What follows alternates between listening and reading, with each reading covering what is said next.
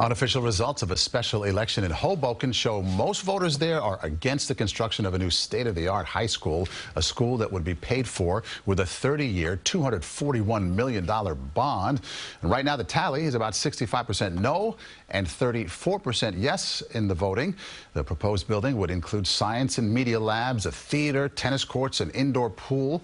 Supporters call it a good investment, but opponents said they wanted more community inputs.